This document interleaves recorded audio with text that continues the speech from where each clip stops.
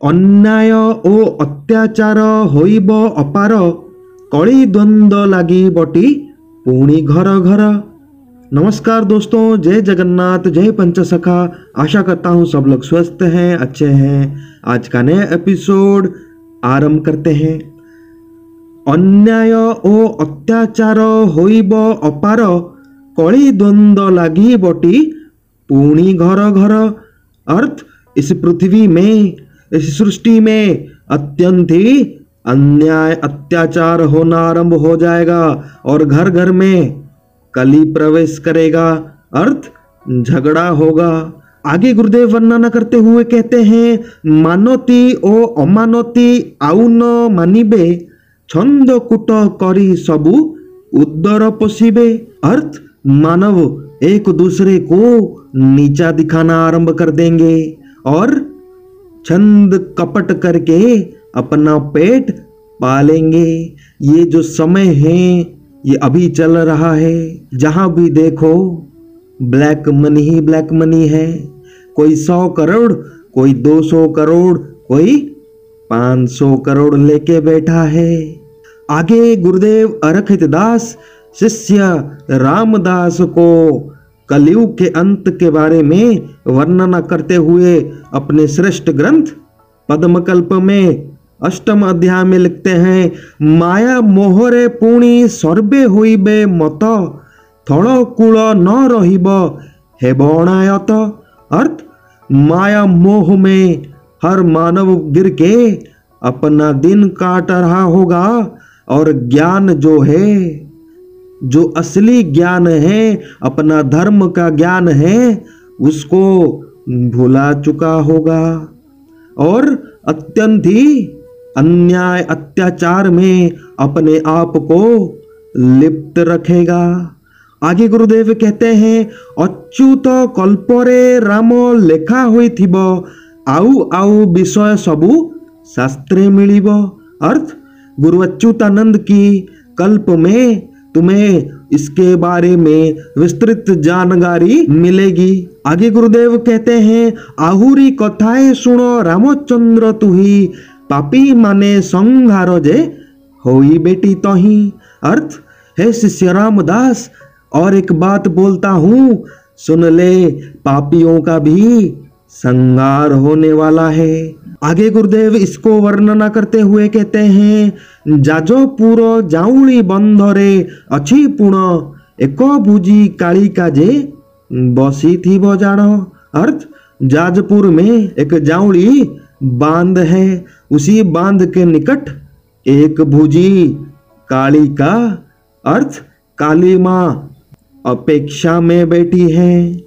आगे गुरुदेव कहते हैं केउ दिन ठारू से ही जगी बसी अच्छी कली रे खाइब से ही उत्तरे रही अर्थ बहुत दिन से प्रतीक्षा करके बैठी है कलयुग में पापियों का संगार निश्चित करेगी आगे गुरुदेव इसको वर्णना करते हुए कहते हैं आहुरी कथाए राम चंद्र सुन तु ही लुंगी पिंधा सारो हेबे कौड़ी रे जैसे ही अर्थ और एक बात शिष्य रामदास कहता हूं सुन लुंगी पहनने वाले इस कलयुग के अंत में बहुत बढ़ जाएंगे दोस्तों ये लुंगी पहनने वाले कौन है आप समझ चुके होंगे आगे गुरुदेव कहते हैं ବେକରୁ ମାଳିକୁ ସବୁ ଛିଣ୍ଡାଇଣ ଦେବେ କୁକୁଡ଼ା ଅଣ୍ଡା ଯେ कारोबार को अर्थ, गले से माला निकाल देंगे और मुर्गियों का अंडा बेचते हुए मिलेंगे। आगे गुरुदेव कहते हैं, बेकोरे माड़ी जे आऊ कही नौ नाइबे, पोईता छिंडाई क्रिस्टियानो बुलाइबे। अर्थ, और कोई भी कलयुग के अंत में गले में माला धारण करते हुए नहीं मिलेगा। गले में तुलसी का माला हो जाए, रुद्राक्ष का माला हो जाए, ये सनातन धर्म का पहचान है। लेकिन कलयुग के अंत में इसका भी अंत हो चुका है और जो जनेऊधारी है, वो भी अपने जनेऊ को त्याग करके क्रिश्चियन बन जाएँगे। ऐसा मैं नहीं दोस्तों, गुरु अरखित दास अपने ग्रंथ पद्मकल्प में शिष्य रामदास को वर्णना कर रहे हैं। समय है कलयुग का अंत का समय। आगे गुरुदेव कहते हैं, धर्म अधर्म विचार नथिब कहारी काल मुखे पड़ी, एम माने जीवे पुणी मोरी। अर्थ, धर्म अधर्म का विचार इन मानवों के पास नहीं होगा और काल के कराल रूप में गिर के मृत्यु निश्चित होगी। आगे गुरुदेव कहते हैं, एमाने सबू परा बुढ़ाइबे वंश अधर्म जोगु आउ जे न रही वंश अर्थ, इन्हीं लोगों के वजह से आज सनातन धर्म डूब चुका है। इन्हीं लोगों ने हमारा वंश नाश कर दिया है। इन्हीं लोगों के वजह से आज पूरी पृथ्वी में हिंदू धर्म विनाश के कदार पे आ गया है। आगे गुरुदेव कहते हैं, ब्राह्मण शूद्राणी रति करिवे बहुत, ब्राह्मणी को शूद्र माने हरिबे मंत। अर्थ, ब्राह्मण शूद्र को शादी करेगा। और ब्राह्मण को, एक ब्राह्मण लड़की को शूद्र हरण करेगा। ऐसा मैं नहीं दोस्तों, गुरु अर्कित दास, कलयुग के अंत के समय में जो घटना घटित होने वाली है, अर्थ अभी के समय में हो रही है, उसके बारे में वर्णना करते हुए कहा है। आगे गुरुदेव कहते हैं, बहु अन्याय होई बत्तीस ठावरे दिनु दिनु कड़ी बहु घटिब संसारे अर्थ थर्टी टू अंक जब आएगा तब अत्यंत ही भयानक परिस्थिति इस मानव को सहनी पड़ेगी इस संसार में दोस्तों अगर आप एपिसोड वन से देख रहे हैं तो थर्टी टू अंक कब आएगा आप लोग को समझ आ चुका होगा अगर आप नए दर्शक हैं तो आपको समझ में नहीं आएगा। इसीलिए एपिसोड वन से धीरे धीरे ही सही देखिएगा ज़रूर, ताकि इस अंतिम समय में जब सब कुछ प्रलय में डूबने जा रहा हो तो मालूम तो हो ये क्यों हो रहा है। आगे गुरुदेव कहते हैं, ब्राह्मण गायत्री छाड़ी गारेड़ी पड़िबे, मद खाई बेश्या सांगे से ही बस हेबे।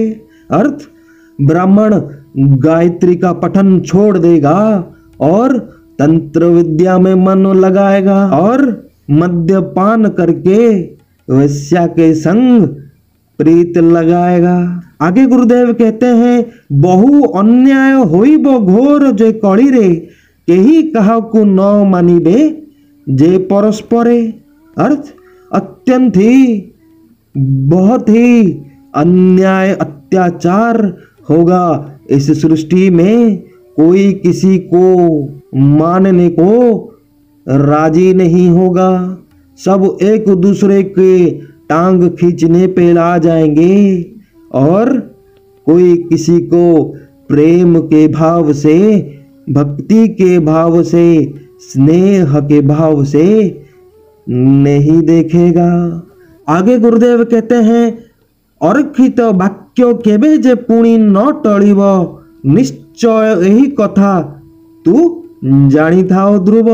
अर्थ, गुरु अर्कित दास का वाक्य कभी भी गलत नहीं होगा। और जैसे आसमान में ध्रुव तारा चमकता रहता है, वैसे ही गुरु अर्कित दास का वाक्य अटल है।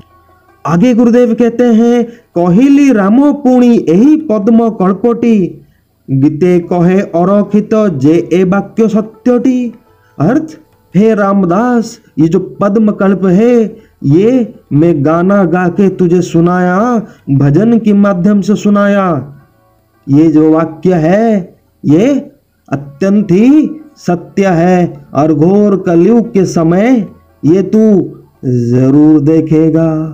उला सुनी पर्वत पे गुरुवर दास ने साधना करके तपस्या हासिल की थी और इस पद्म कल्प का रचना किया था। इस पद्म कल्प ग्रंथ का रचयिता एक महापुरुष नहीं दोस्तों, छह छह महापुरुष मिलके इस ग्रंथ को पूर्ण अवतार दिए हैं।